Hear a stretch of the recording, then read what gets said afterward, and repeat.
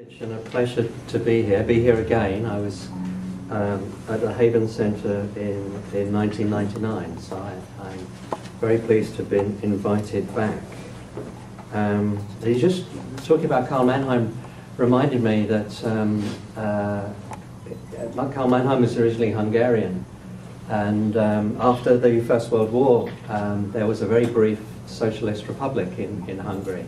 And in fact, he, he was um, made head of a teacher training, teacher education institute um, under, the, uh, under the socialist government, but then had to uh, flee um, to Germany in 1919 um, when there was a, a military um, uh, coup uh, which overthrew the, the socialist government. Um, so he had, he had a, a, a, long background in, in teacher education and educational issues. Um, as Michael says, I have been interested in the last few years, particularly in uh, issues of, of privatisation or privatisations um, of education. Um, and I've been pursuing that in a number of ways, doing empirical work, trying to understand how that occurs, who's involved, what its effects are in various ways.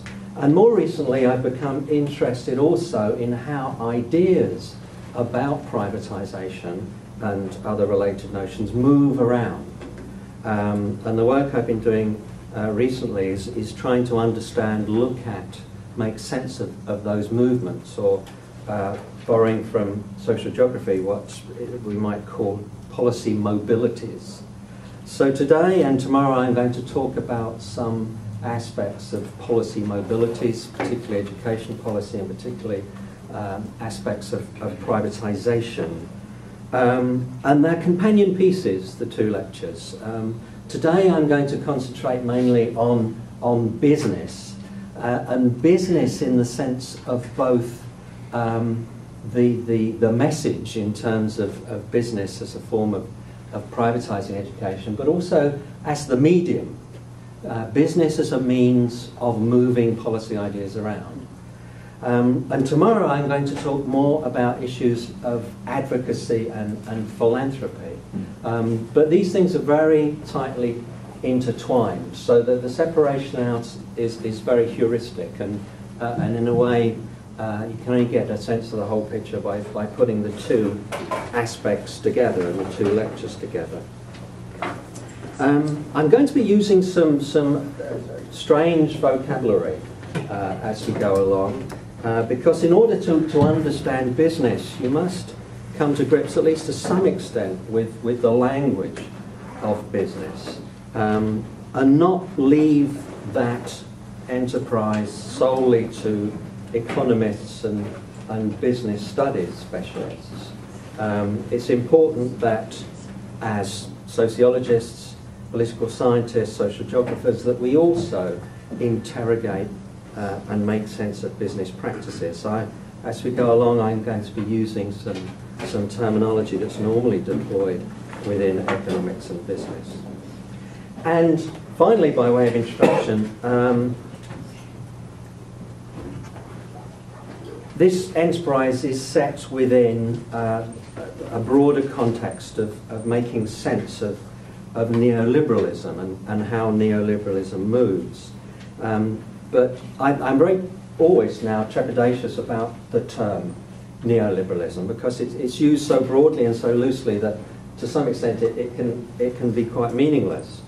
Um, and I, I have a particular sense in which I, I use and understand neoliberalism, which I'll be happy to talk about a little more if you want me to.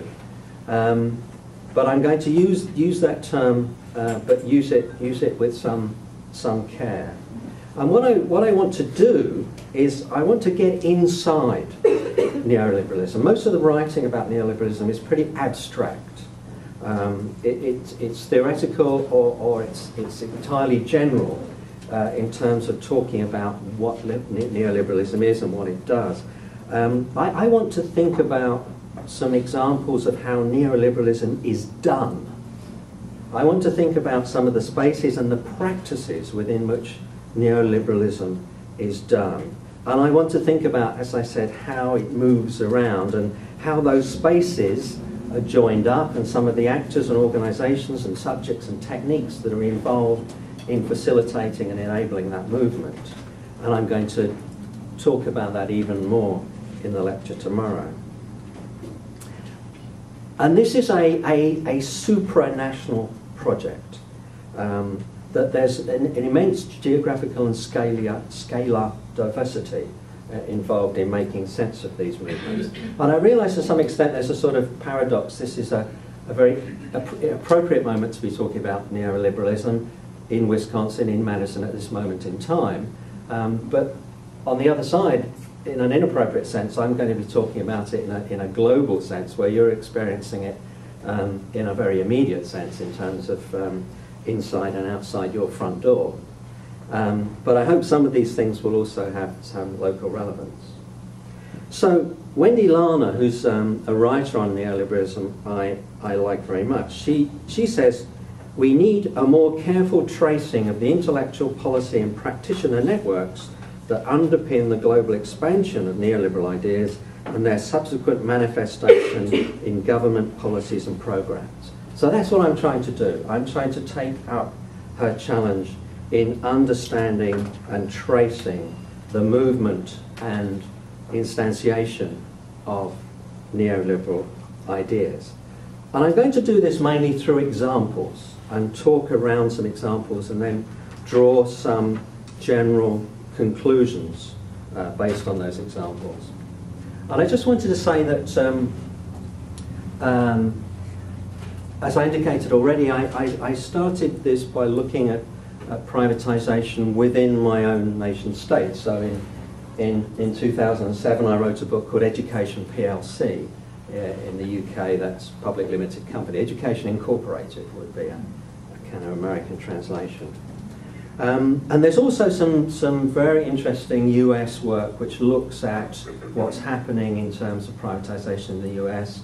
Um, a very good book by Trisha Burch, who used to be here now at uh, USC. Um, an interesting new book by Jill Koyama, who's at, at Buffalo, um, uh, looking at No Child Left Behind. Um, some work by Ken Saltman, some of which does branch out into areas of, of uh, international dimensions of, of privatization. Um, and I came across a, an interesting, although very, very wide-ranging article recently by, by Joel Spring that was published in uh, uh, the AERA Research Journal. But for the most part, we, we don't have much work that looks at a, on a global scale and looks across or outside uh, of national contexts. So this is what I want to try and uh, explore, and I'm talking about work that I'm still doing and still thinking about. So as I said already, I want to look at some new ways in which neoliberal policies and ideas move. And in particular, to do this, I want to look at business in policy and policy as business. And I'll explain this more, what I mean by that in a moment. Um, but particularly I'm thinking here about the buying and selling of policy and policy ideas. Policy ideas are now not just political possibilities, they're actually commodities. They're actually bought and sold in the global marketplace, and I'll give you some examples of that. I'm also going to talk about some of the dynamics of education business, edu businesses, um, I'm going to look at things like, and this is where some of the language begins to creep in from economics, acquisitions and mergers, and the creation of new multinational education businesses.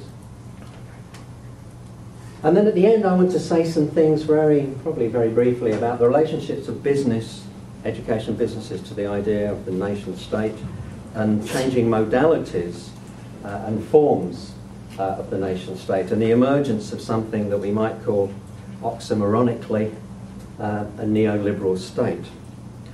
But I'm going to be doing this by, by telling some neoliberal stories and giving you some examples of, of neoliberal practice. Um,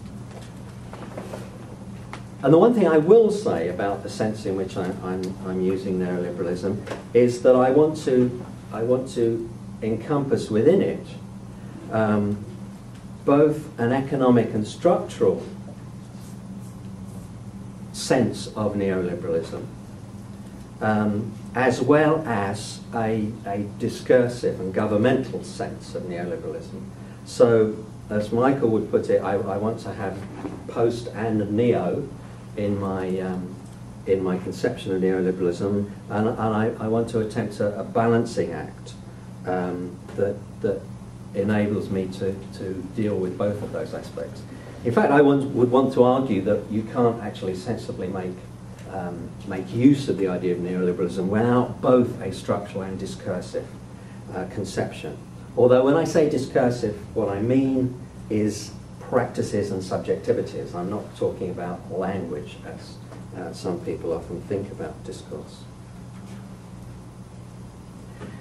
As I said, the two lectures are highly interrelated, and here I'm going to talk about some aspects of education business. And I'm going to look at, at three aspects of business, education business. I'm going to look at the export and selling of policy and the development of a, a new group of knowledge companies, companies who sell knowledge, sell policy ideas. Then I to say something about education as big business, which focuses on consolidations and mergers of companies to create transnational giants. And then finally, I want to say something about what I call selling students, which is actually the buying and selling of educational institutions, the bricks and mortar, um, and the students who, who work within them. And in all of this, the other thing I want to, to underline is that, that we are at a key stage, a, a, a shift in terms of the nature of, of education businesses. Uh, the movement to the multinational form. And at the moment, we don't have a well-developed model or a map or a typology of these businesses, um, and we need to try to begin to try and develop that, and, and that's also what I'm trying to do. Um, but as I said, also in relation to these developments, you also have to incorporate ideas about social enterprise and philanthropy and advocacy, and I'll be talking about that a little more tomorrow. Familiar face just walked in the door. So I'm going to start with the idea of exporting and, and selling policy. And the point here, as I've said already, is that policy now, policy knowledge, policy ideas, in a variety of ways, are a profit opportunity. In traditional policy transfer literature, the notion is that there's a movement between uh, political advisors, consultants, and experts um, who facilitate the transfer of policy ideas from one country to another in some kind of abstract sense. But increasingly, this movement is actually on the basis of buying and selling. It's actually done by companies who seek to sell policy ideas um, across the globe. And I'll give you a, a couple of examples. Um, this is, this is one British-based company called the Matrix Knowledge Group. And this is their particular division called Matrix Evidence. And this is an invitation to a breakfast meeting um, to discuss uh, a new policy development. This was under New Labour, uh, which was related to what was then called the New Opportunities White Paper, the government's agenda for capturing the jobs of the future, investing in families, communities, and citizens throughout their lives to help them get on and get ahead. And what Matrix wanted to do here was to put down a marker in terms of the role that they might play in providing an evidence base for this policy. So they saw new policy as a new opportunity uh, for profit, a new opportunity to sell evidence to government, to inform government, to make policy, to make policy better. So in this sense, policy itself provides new opportunities for profit, and policy knowledge is also a profitable, profitable commodity which can be sold to governments. A second British-based company. I should have said that Matrix also has offices in India. Um, A4E, another British company, has offices throughout Europe, uh, particularly does a lot of work in, in France and Germany. Uh, and A4E again is a, is a knowledge company. Uh, and here on their website, they are talking about the possibilities that they present to government in terms of new solutions to entrenched policy problems. Governments are looking for answers to difficult problems multi generational unemployment, youth unemployment, poverty, deprivation, poor health, and low life expectancy, high crime, and substance misuse. Those are the problems that A4E can solve. Hmm. We tackle the difficult problems and our innovative approaches deliver results. Not only that, and this is a recent version of their, their website, they go on to say difficult, complex challenges that require long term investment to solve, and yet the rise in social spending of the last decade cannot continue. Frontline public services must deliver more for less. So not only can they solve social problems that the state itself is unable to solve, but they can solve them more cheaply. So they're offering quality and efficiency. In a sense, underpinning this is a classic neoliberal trope the idea that the state is inefficient and ineffective and cannot solve social problems, and that the market can. And this is something we'll come back to at the moment.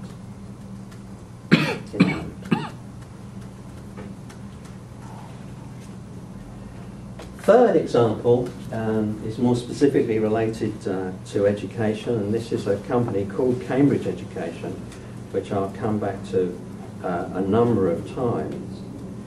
Um, and Cambridge offer policy services and educational services um, to three audiences and at three scales.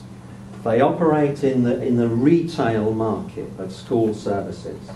So they provide school improvement services, they provide continuing professional development, teacher supply, um, various kinds of interim management and technical support to schools, which can be bought on a retail basis. They also advise and supply policy ideas to local and national government, and they also work uh, for government through contracts of various kinds. And one of the contracts that Cambridge Education has held, although it in fact has just lost it, um, it was one of the contractors for the English schools inspection system. So all English schools are inspected at regular intervals. The scheme is run by a government department or a non-governmental quasi-autonomous department called Ofsted, the Office for Standards in Education, but the work of inspection is contracted out to private providers. The work of inspection is actually done by private providers. There used to be seven such national contracts, there are now only three. In, in the reduction to three, Cambridge lost its contract, but it was one of the inspection contractors, and if you just hold that in your mind, we'll come back to that later. But then, thirdly, uh, Cambridge also operate internationally. And I'll look a little bit more at some of the things uh, that they do. So here we see, for example, 11th to 13th of October, Bangkok, three-day international conference exploring the link between external evaluation and school improvement. External evaluation read school inspection. And again, we'll, we'll come back to that in a moment. In 2003, Merrill Lynch estimated that the global education services market, this is 2003, was $111 billion. It's probably grown enormously since then, and I would suggest that in terms of what they include in their, their measure, that it's a, also a massive uh, uh, underestimate. But even, even at that level, $111 billion, it's, it's no wonder that there's enormous interest in this international market in education services uh, among the private sector. Among other things, um, Cambridge Education has worked in over over 70 different countries around the world. It's, it's now a global brand, Cambridge Education.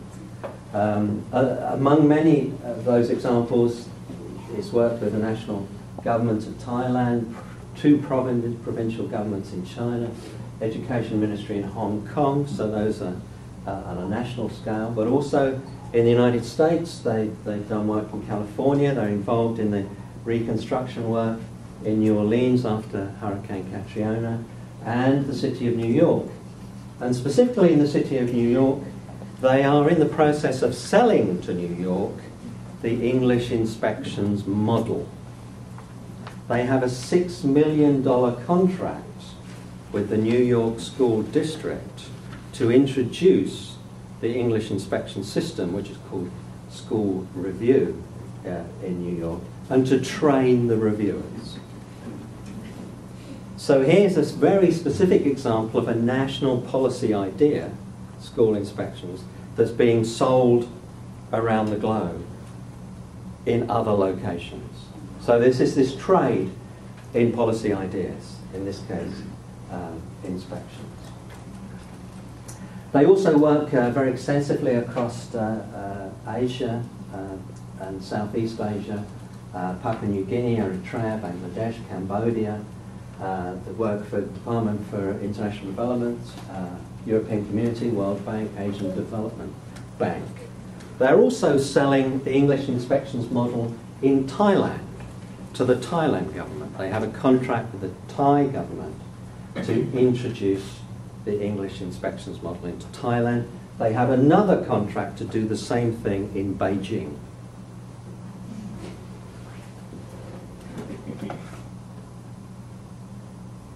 So this is a market in policy ideas. Education quality, education improvement, um, and mechanisms of, of inspection uh, and review. They're also involved, Cambridge, in, in a role of a, a variety of other service activities in, in other settings, which includes, in relation to small states, a service which entails writing national policy documents. They will actually write your education policies for you. So, for example, in the case of the Maldives, they actually ha- they've been involved in drafting legislation for a new education act, and they're developing a sustainable financial framework for increased and equitable access to post-secondary education. So not only will they sell you policy, they will write policy for you. They would do bespoke policy writing, although how bespoke it is in relation to the general ideas that they're operating with is a moot point. But again, this is a service that is for sale. The writing of policy documents, the provision of, of policy advice. And the other thing about Cambridge, which anticipates uh, the next set of issues I want to get onto, is that um, it was in fact a company created in the in the early 1990s, founded by two ex-chief education officers, what you would call school superintendents.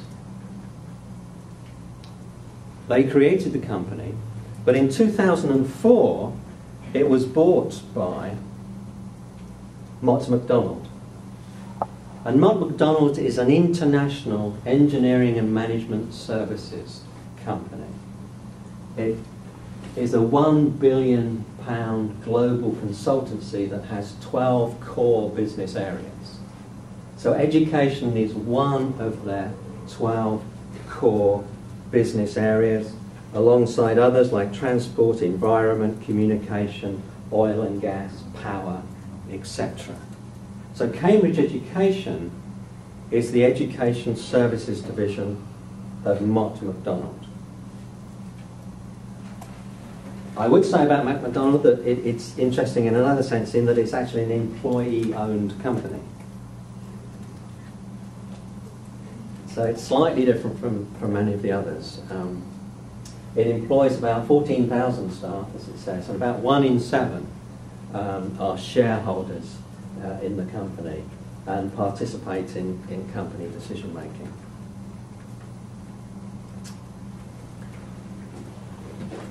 So I want to go on to say something about the new configurations that these international education businesses uh, are taking um, and, and the new reach and scope of activities uh, in which they're involved. And some of these will be familiar to you, um, others won't. So I've already mentioned Cambridge and, and Macdonald. I also wanted to mention Edison Schools UK. Edison Schools UK is the UK subsidiary of the Edison Corporation, uh, based in a small provincial town in England called Colchester.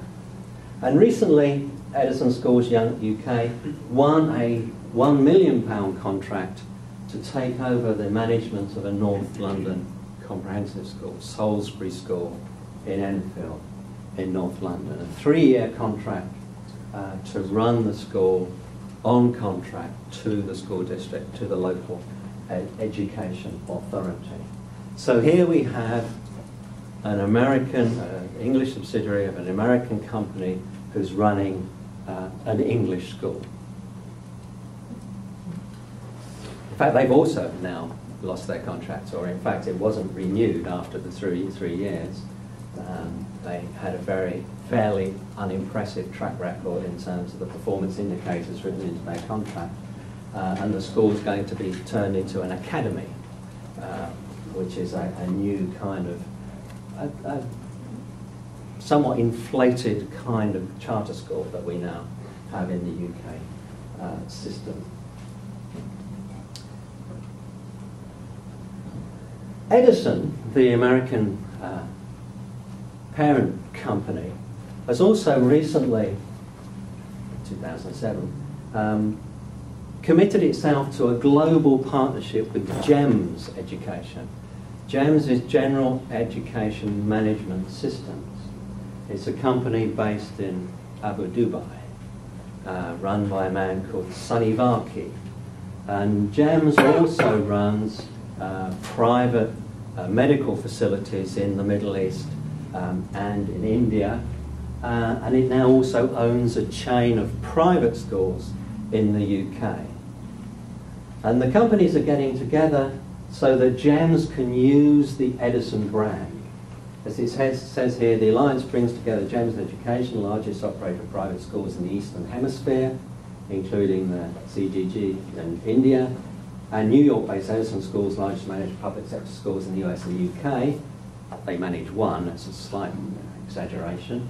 Um, under the alliance, GEMS will acquire licensing rights from Edison. This will include the issue of intellectual property, use of intellectual property, and the Edison name to manage public sector schools in the Middle East, North Africa, and South Asia.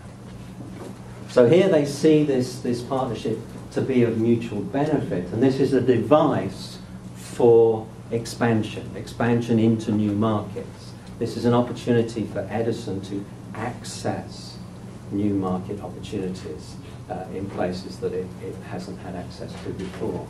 So this is again one of the imperatives of business that is being played out in this particular uh, form, which is expansion and, as we'll see in a moment, also diversification. Growth through expansion and also growth through uh, acquisition, as in the case of um, uh, Mott MacDonald uh, acquiring Cambridge Education.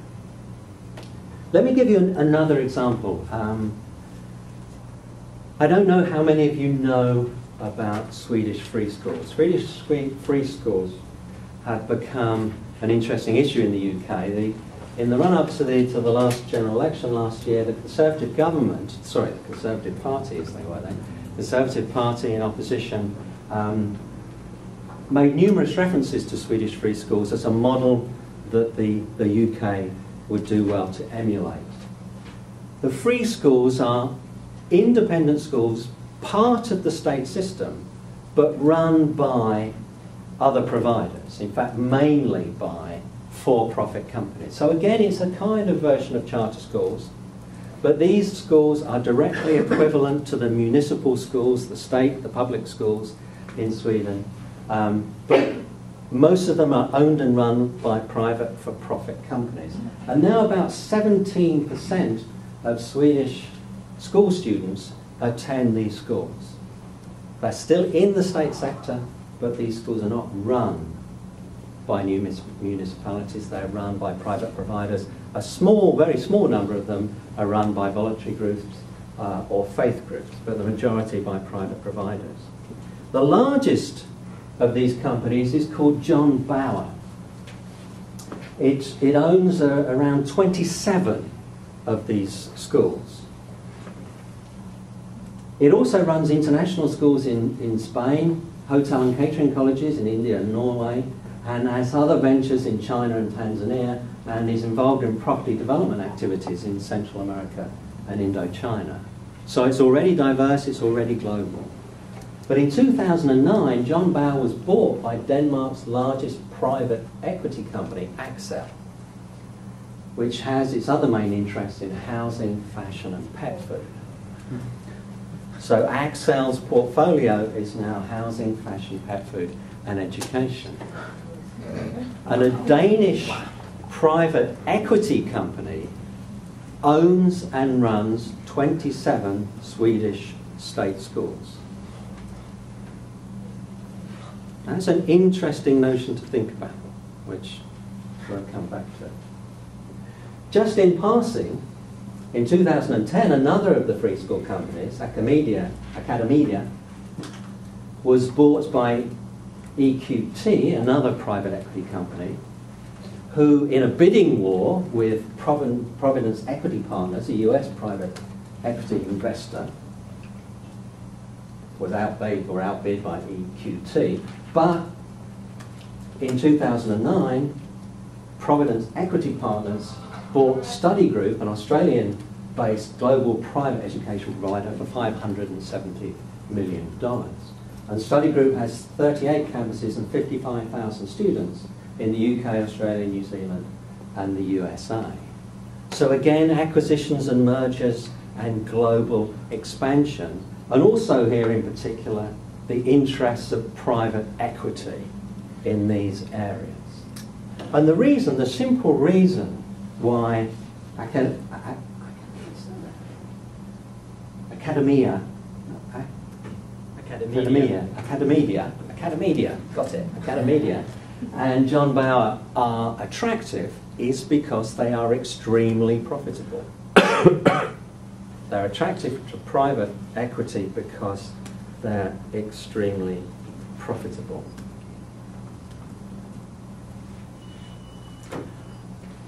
Again, we have the situation of educational institutions in a diversity range of countries that are owned and run by non-national providers. So, American private equity company running uh, campuses in, in the UK, Australia, and, and New Zealand.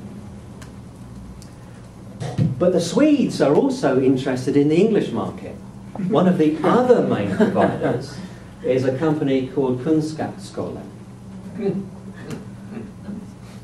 Kunskapsskolan are now sponsoring three English academies. These are schools inside the state system but run by independent sponsors. They're not for profit, but Kunskapsskolan has made no bones about the fact that he's, it sees this move to sponsor three English academies as a foothold in the English education services market.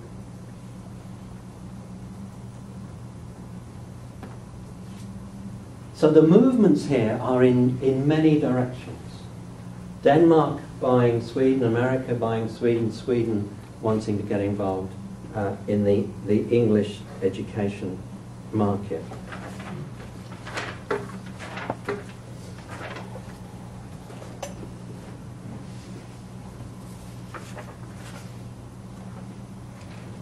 Quickly, I want to two more of these because I, I, want to make um, slightly different points from them. Another English company, education service companies, is, Nord Anglia. Um, in 2008, Nord Anglia fought off an attempt from another private equity company, Barings Private Equity Asia, to buy them.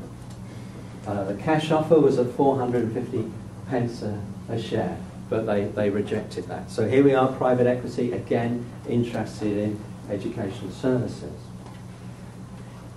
Nord Anglia is also involved in buying and selling aspects of its own business. So um, it recently sold one of its schools, Hull Grammar School, a private grammar school, um, for 4.18 million pounds to the Church Schools Company, which is a charitable arm of the Church of England. Prior to that, it sold its nursery schools, of which at the time it was the largest single provider of nursery schools, private nursery schools in the UK. It, it sold them to an Australian company, ABC Learning.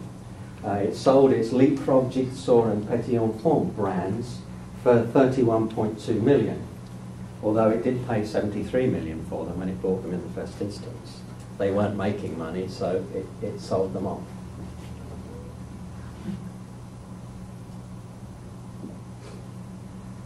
So an Australian company became the largest single provider of private nursery schooling in the UK. Subsequently, in fact, ABC Learning has gone bankrupt. And the nursery schools are now in the hands of the, the administrator. We also have um, American companies who run nursery schools in the UK. Um, Brighter Horizons Family Solutions has a chain of nursery schools, as did, although it has now sold them, the world's largest nursery school company, KinderCare, which is a, a US company.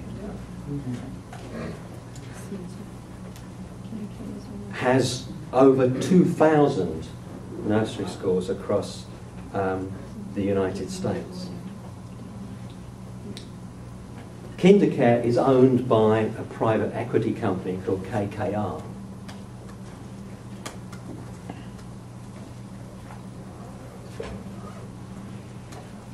But Nord Anglia still does other things. It's, it's very active in the UK, but also particularly in the Middle East. It works in Qatar, in Bahrain, uh, in Saudi Arabia.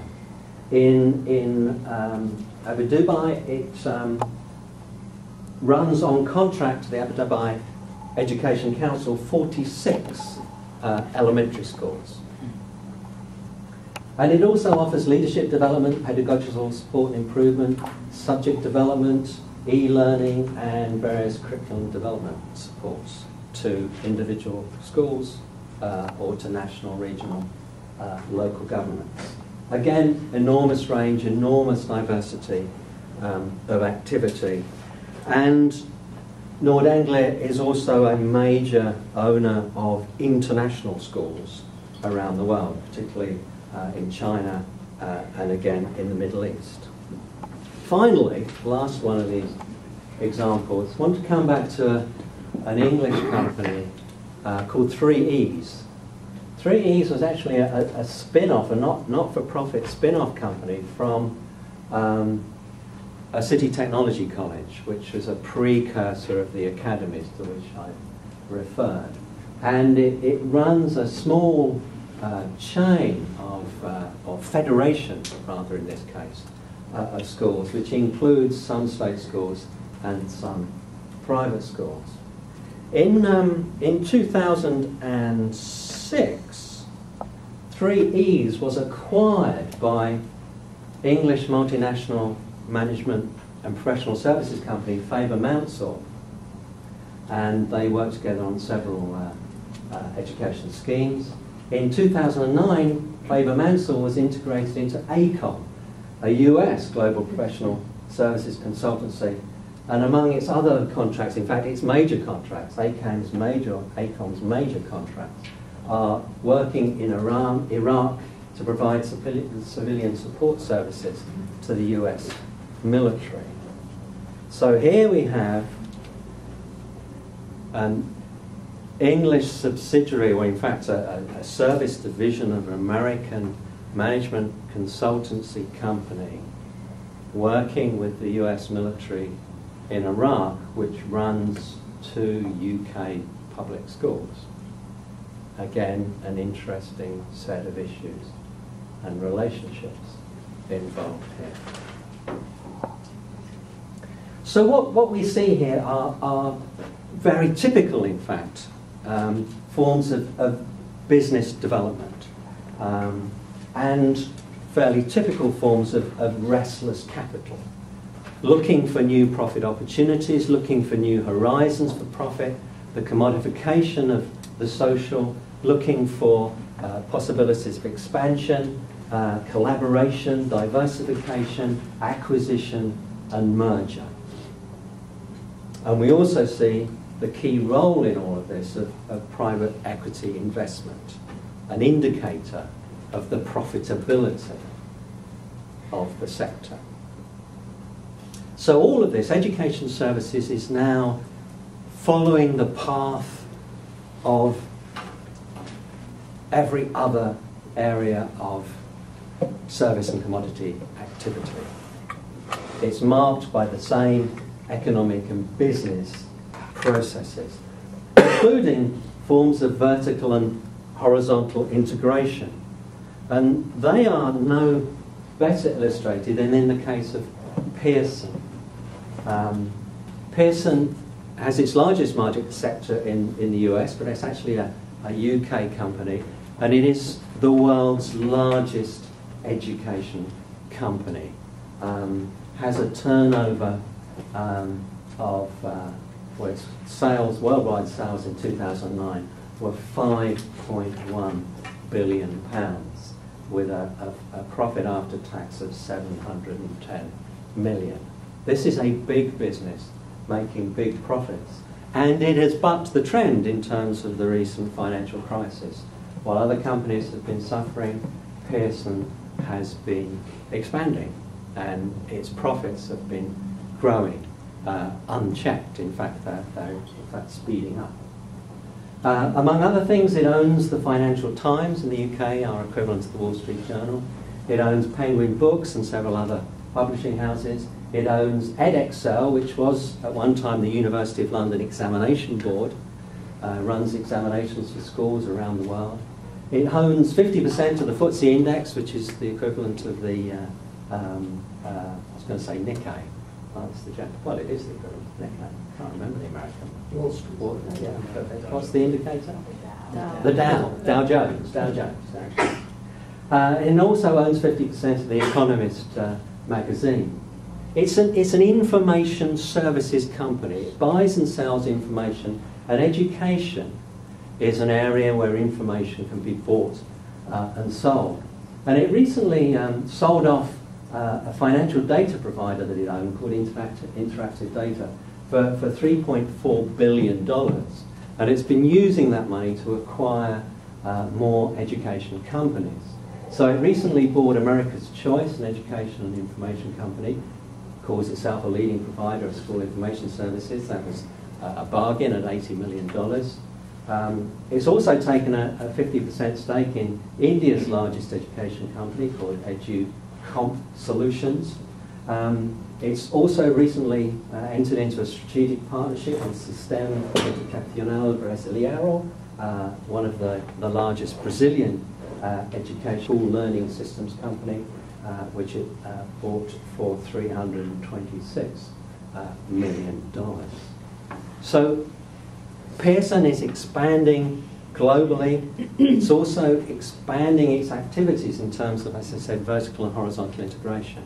It offers pedagogical, curricular, and assessment services. So it, it provides you with the materials, it provides you with means of teaching them, it provides means of assessing them, and it also will provide the uh, administrative backup services um, for any educational venture. So some private higher education organisations, universities now buy the entire package from Pearson. They buy the curriculum, they buy the pedagogy, the software, online materials, they buy the assessment technologies, and they buy the administrative systems for recruitment and management of students. etc. But Pearson's also getting into other areas of education. It operates in higher education and uh, across the school sector. But recently it's been expanding into vocational education. The, uh, the purchase in India uh, was mainly oriented to vocational education. And it's bought uh, a, a, British company, uh, also recently a company called uh, Melorio, um, which is a vocational training company, has 49 training centres around the UK. It bought that for $99 million. Melorio had only recently, in 2008, purchased two other companies, UK-based companies, Xenos Learning and Learning World Academies, uh, to add to its, uh, its stable of activities. So here we see again acquisitions and mergers and expansions and vertical and horizontal integration across sectors and across areas of, of activity, pedagogy, curriculum, uh, and assessment. And, and Pearson uh, is active in, in every corner of the globe. Uh, there's not enough time to, to talk about its activities, um, but some of its, its most recent developments have been in, in Vietnam, Colombia, South Africa, Malta, um, and numerous other places across Asia and Africa. But Pearson's not only interested in selling educational services, it's also interesting participating in education policy debates and education policy making. So through its Pearson Foundation, its, its um, uh, corporate social responsibility arm, um, it also runs a series of education conferences. So in this case, based in Singapore, it flew in um, senior education administrators from countries around the world um, to discuss key educational assessment and professional development practices that ensure students' success in mathematics and science education.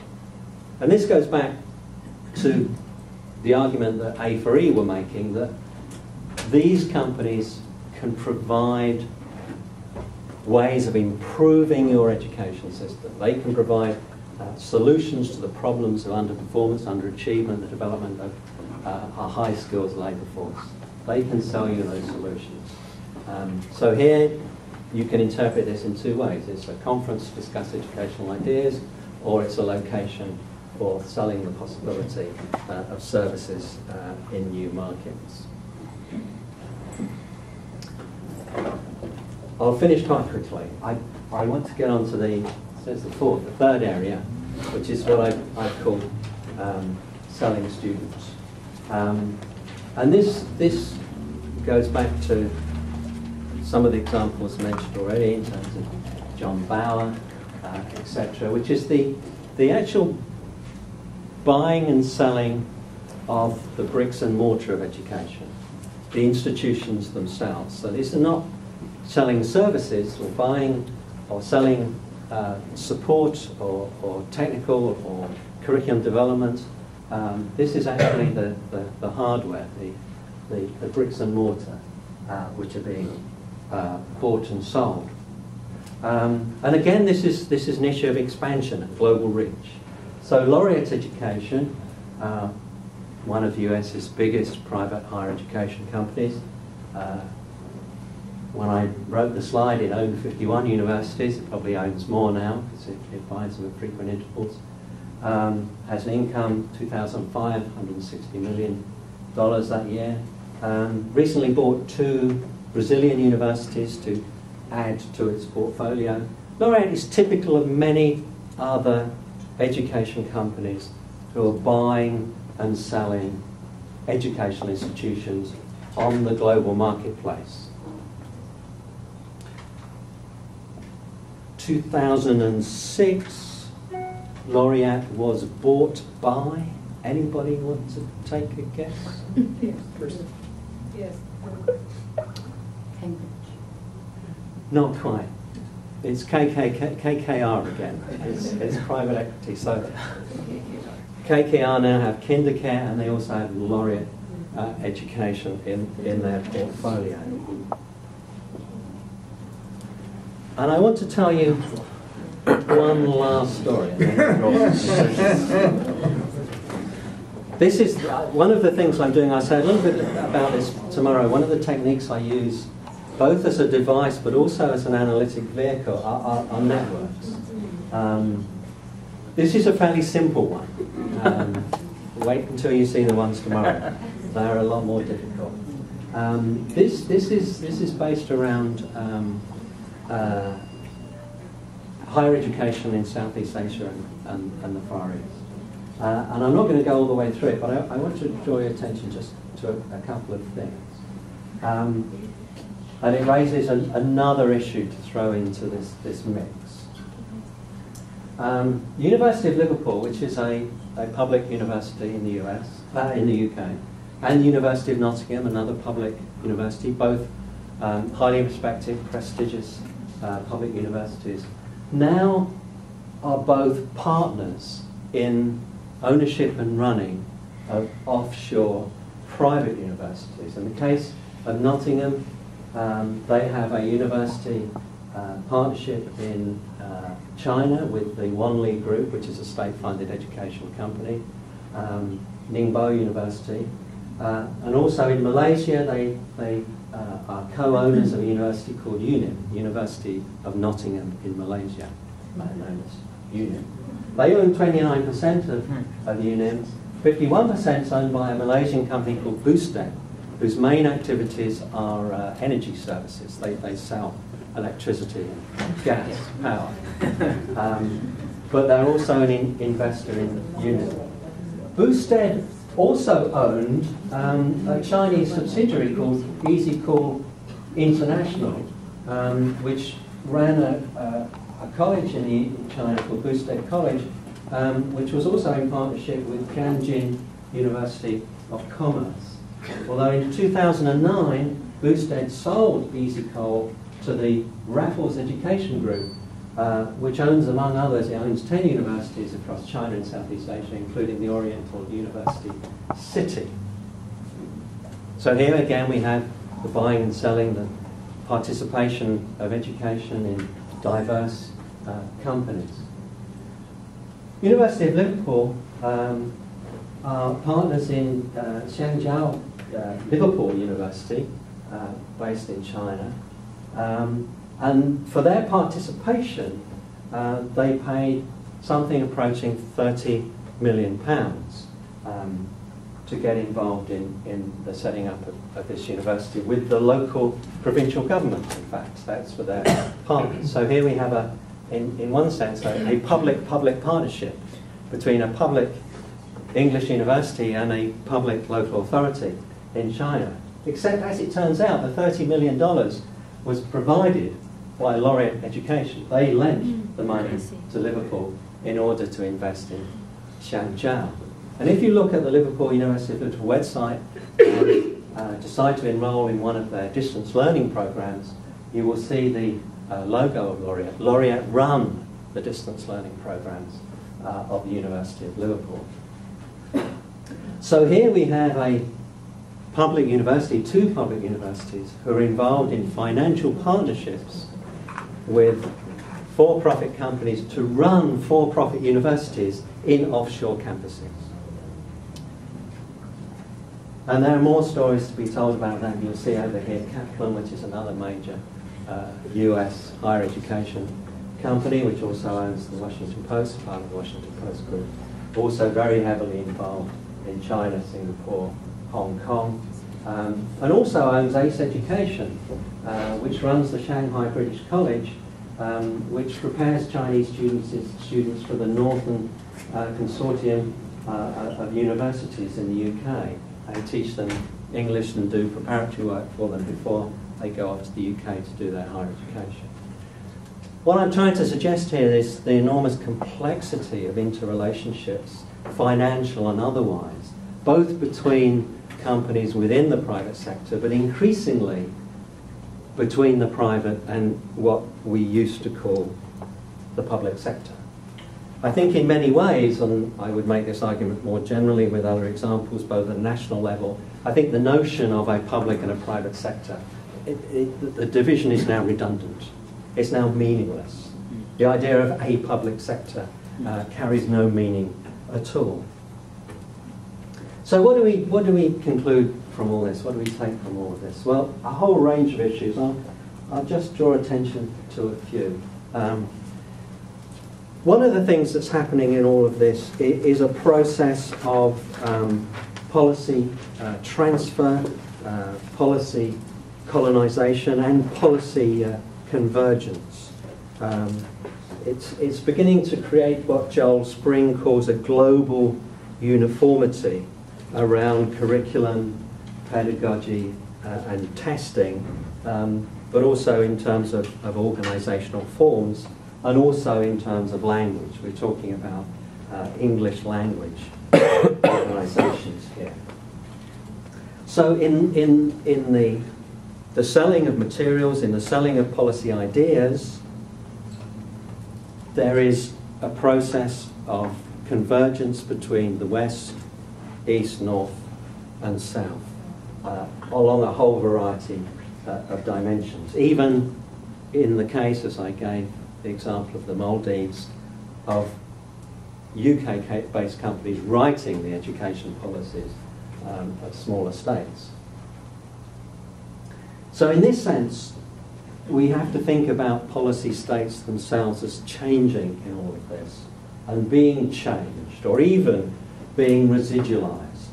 Um, Anne and Sheller and Urry say the nation itself is being transformed by such mobilities. We have to begin to think, rethink the idea of the state, of the nation state.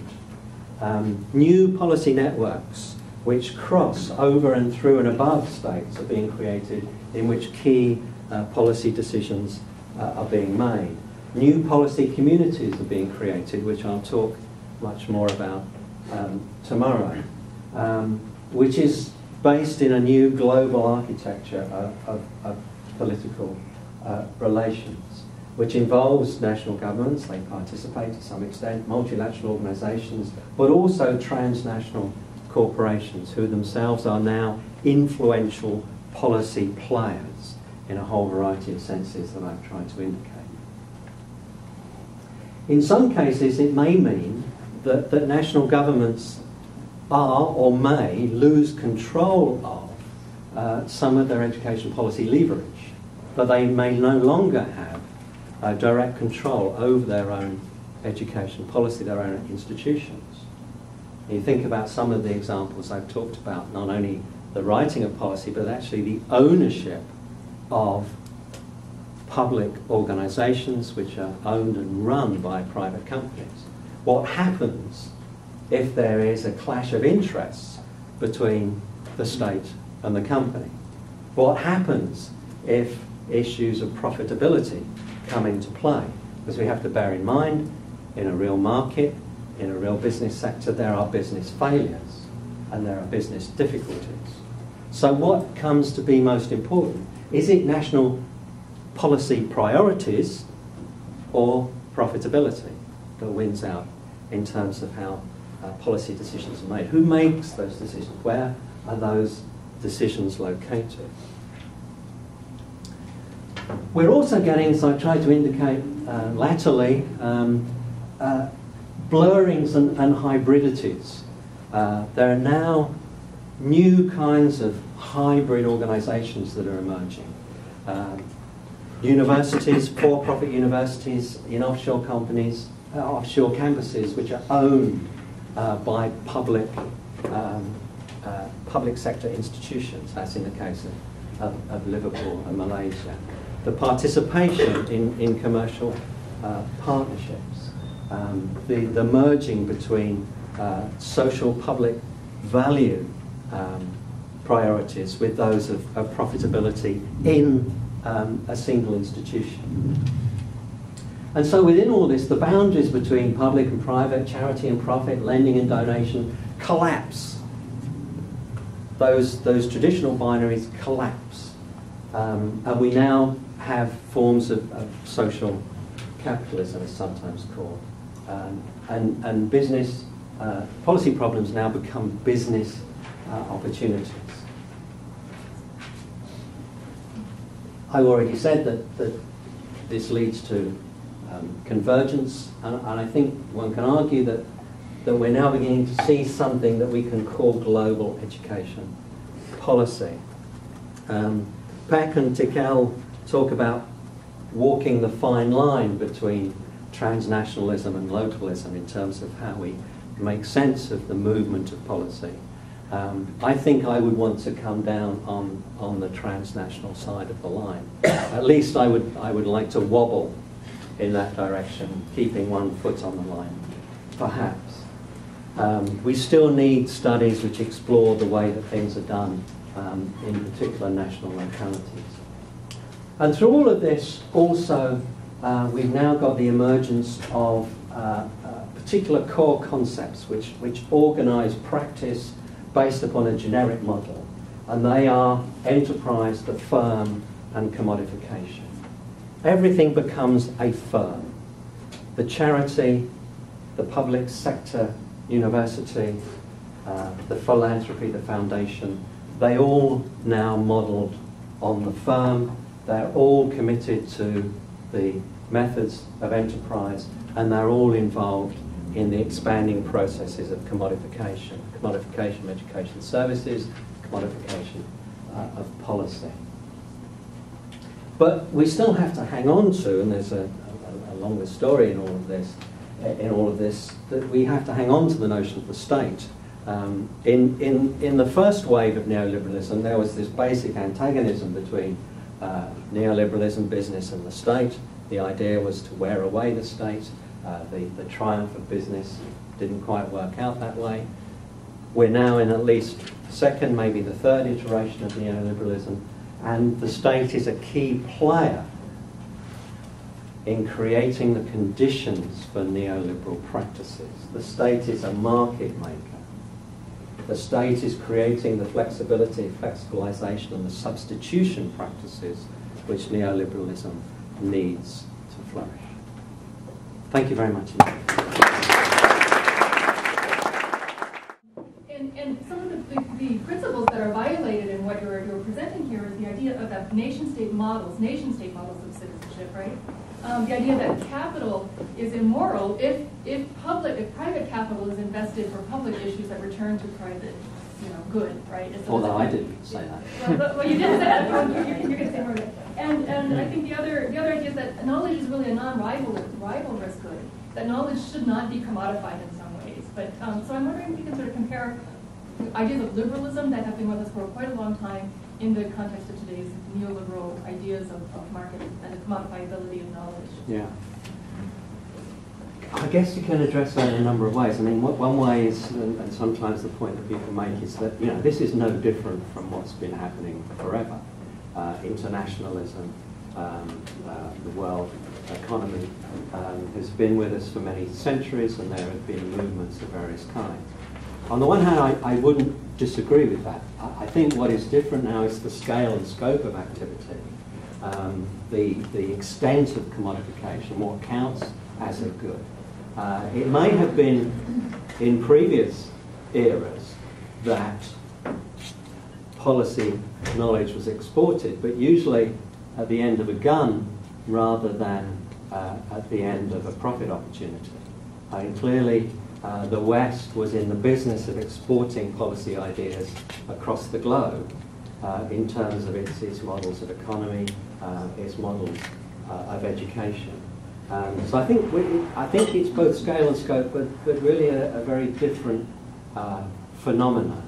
Um, I mean, education is interesting in that respect, um, in that Western education was, was at, at, a, at a premium for some consumers um, it, from the 18th, 19th century on in places like Africa uh, and India.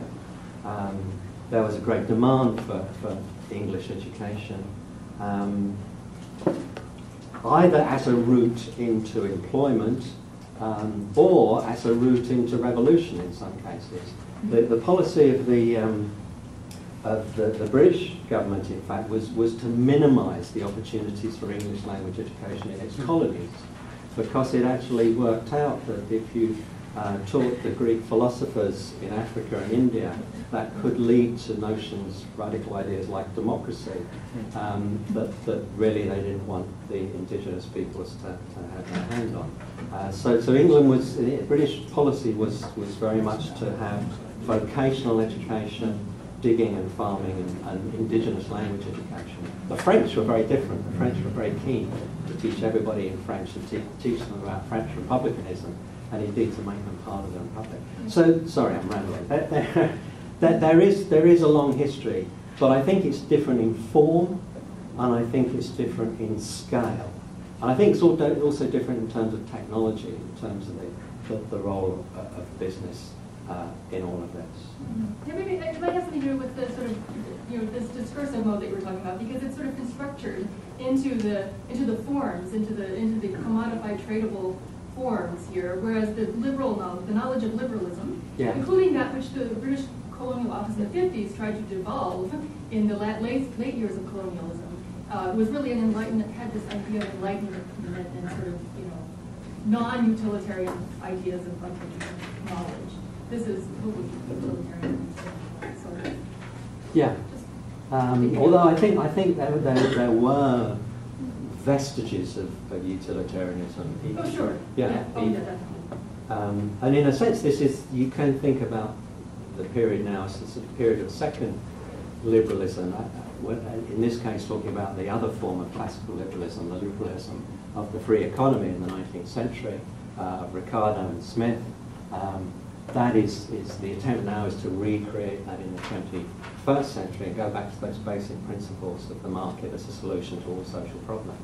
So in, in that sense, there's also a revisiting of, a, of an intellectual history uh, in a new social yeah. context. One thing firms tend to do is uh, want to monopolize opportunities, and one way they do that is to patent what they're doing or copyright, and I don't know all the other terms. Um, so I'm wondering how much are they able to take policy ideas and say, well, you can only get that policy idea from so and so. You mentioned some firm is trying to sell New York the idea of the inspectorate. Yeah. Could you patent the idea of the inspectorate and well, there's a, there's or a, license it? There's a there's a problem with that notion because uh, actually they didn't invent it in any. they they ripped it out of the uh, the English public education system and and, and uh, commodified it and packaged it and resold it. But the companies do have, I mean, they, they talk about their services as products. So they do have the notion of products, and they often have uh, specific names for their products. Uh, and this is true particularly in areas like school improvement. Um, so they will sell you a particular school improvement product, and that will be unique uh, to their company. So they, they, they do attempt to do that in, in a variety of ways. Um, they're operating in, in a classic uh, market form, and, and, intellectual property rights, as was mentioned in relation to GEMS and uh, Edison, are, are, are, key issues in this. So yeah, that, that, that, that. I think now, and then Gloria. Uh, I if you could say it's slightly tangential, but I think it's embedded within what you're talking about. Um, I was wondering if you could say something about issues of race and class um, as being kind of part of privatization of education. Um, like I'm thinking, for example, of the history of, Ed Ed uh, of Edison, where they got their start in Chester, Pennsylvania, and then were sold to the school district of Philadelphia, both of which serve um, a large portion of high poverty students and a large population, a majority population of students of color. Um, I'm also thinking about the latter part of your talk, in which you uh, about the for-profit colleges and universities, and I'm thinking specifically about how they've been aggressively recruiting students of color who qualify for Pell Grants, which is, again, a fun of street your government. Yeah, you're, you're right, it is an issue. I mean, it's very complex and it works out differently in different locations in, in different sectors. As I indicated with uh, A4E, um, and uh, Pearson Science Centre indicating this. And one of the areas of, of sales is this, this uh, selling solutions to entrenched social problems, and they would be particularly related to problems of the underperformance of uh, minoritized or um, uh, working class groups. So there is a, one of the areas of address is to, uh, to, to social disadvantage. Uh, and this is, this is a market area that some of the companies in some of their activities are addressing. Um, and as I said at the beginning, this is partly related to the idea that the state has failed to deliver, uh, to solve the problems of social advantage and, and the market uh, can do it better.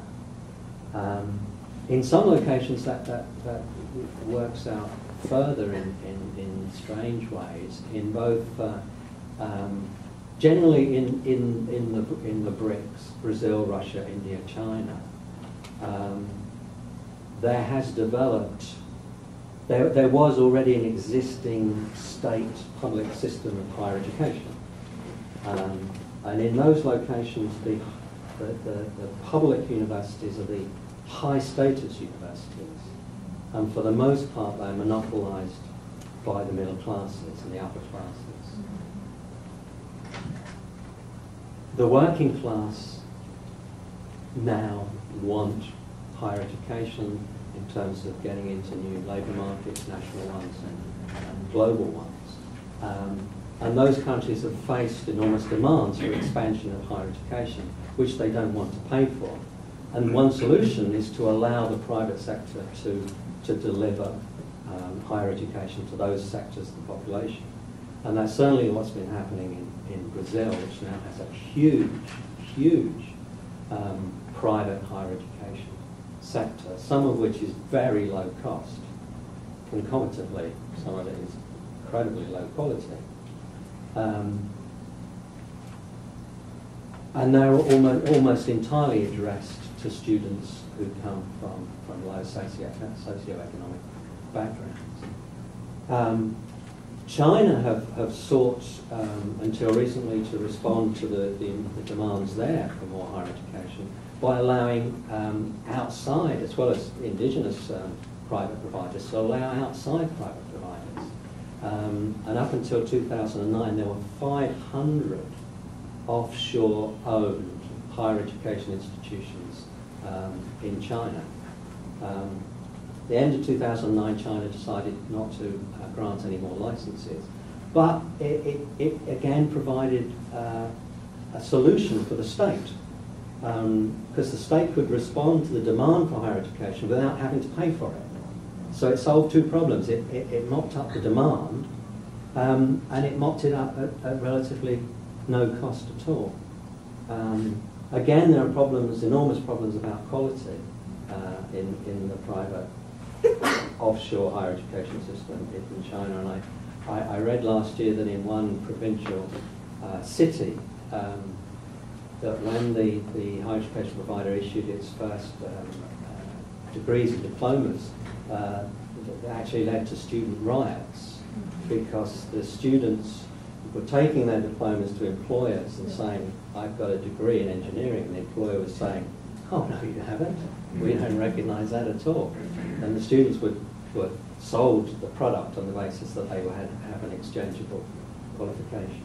So there is a whole set of very complex relations to, um, uh, to class and to colour uh, in all of this, which work out differently in different locations. And it's very interesting reverse in the sense that, that in, in places like China and, and, and Brazil, it's, it's the public universities that are the, the elite universities and the private ones which are the, the, the low status ones. Uh, uh, would you care to comment a little bit on the, what the philosophy behind uh, the philosophy of education uh, uh, is uh, of these businesses? what kind of education? you talked about, for instance, the um, Pearson Company and it offers pedagogical, curricular, and assessment services. Curricular service, what kind of knowledge, what kind of curriculum?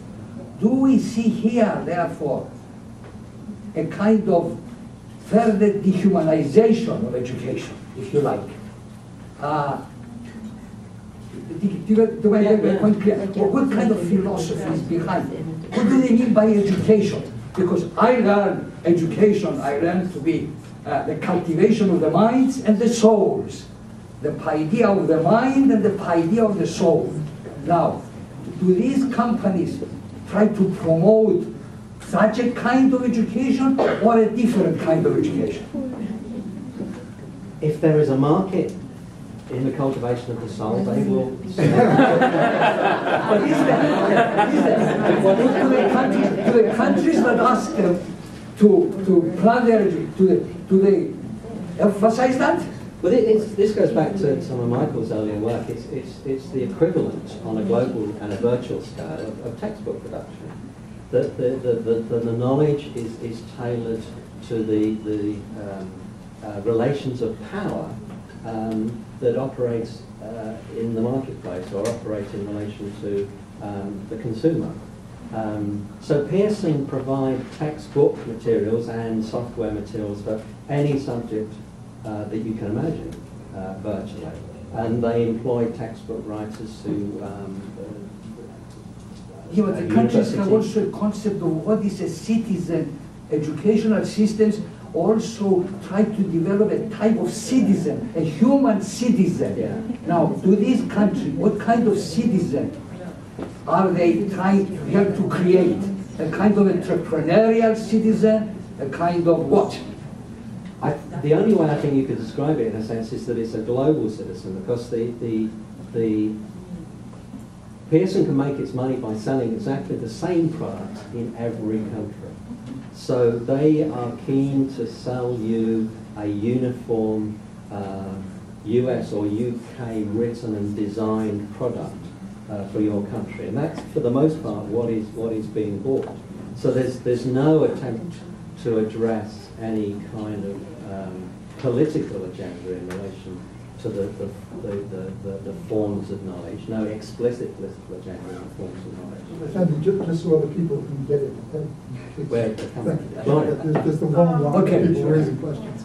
I think, Stephen, my question is probably related to Chris's, and you may have touched on it already, but the issue of the value of these credentials, Hmm. particularly in higher ed. Um, You know, we have proliferation, we have more colleges in this local area, you know, ever before. Yeah. And you don't even have to, you can do it in your pajamas or something, right? You Yeah, yeah, yeah. Do everything online, but what do you end up with? And of what value is it? I mean, clearly people are going to these things and paying money to do so, and in the US using tax dollars to do so. But you go to a nursing school, but there are no nursing jobs for that level of nursing you allegedly got. So, I mean, is it, it, is there a point at which people go, this is not really college, or this is not really whatever it is they, they said it was? Well, I think there, there are two things that are going on. One is that it's a highly stratified market. Mm-hmm. So there are qualifications of, of different values, and they will get you into different labour markets. So there's now, there's now a global circuit of higher education institutions that, from which the, the major multinational companies recruit from, PricewaterhouseCoopers, KPMG, Ernst Young, etc. Recruit from Oxford, Cambridge, Harvard, Stanford, um, INSEAD in, in France. So there's that, there's that market at that, that level, and that, that gives you access. Those qualifications gave you access to that market, and then it, it steps down. There are there are uh, lower levels of global markets, and then there are some institutions which will get you into national markets, and then some that will get you into local markets. So there's this incredible stratification in higher education. So having a higher education qualification means different things in different institutions. But alongside that, are processes of qualification inflation. So in some markets now, what you could, a job you previously could have got with a, a high school diploma, you now need something more. And to some extent, some of these um, very, very low level universities or colleges are, are, are now providing an add-on qualifi- qualification to get into jobs that previously you could get with a much lower level. So those, those two things happen together. And can- Let me just follow up on that, because I, I, I, understand and agree with what you're saying, but what, at least I see people getting sold are credentials for jobs that they're not getting that job, period. It's not like come to college and get a job as an auto mechanic. That's not it. It's come to college and be, uh, a legal, paralegal. Hmm, You're not hmm, getting that. Or, like I said, to be a nurse, so, so they're literally putting a vocational, um, veneer on it, but you can't even get that particular job, Hmm. you know? Well, I, yeah, I think, and, and, but that's, I think, ratcheting up through the whole system, that the, the match between your degree and the job that's available to you is, is becoming much more um, uneven than it, than it, than it was previously. Um, so you, you need more and more to get less and less, in effect.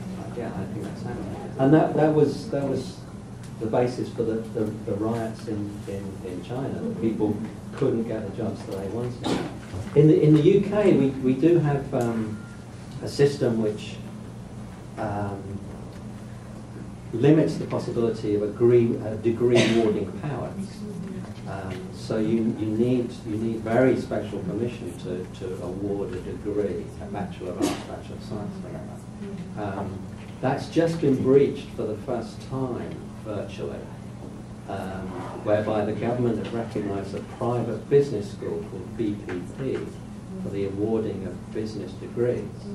Almost at the same moment that BPP were given degree awarding powers, they were bought by Apollo, um, which Apollo clearly sees this as a new market in which they I hate to do this, but uh, let me, you know, there are many, many questions. Uh, On Thursday, there is an open seminar uh, at twelve twenty, and that's where I would hope that many of you could come and uh, spend more time with Stephen with specific questions. Uh, And as a final story about the ways in which these things work, and not for capital accumulation, but the Institute for Creation Science in Dallas has just been given by the state of Texas the ability to certify science teachers in the entire state of Texas. So this works uh, in terms of conversion over religious capital as well as other kinds of capital.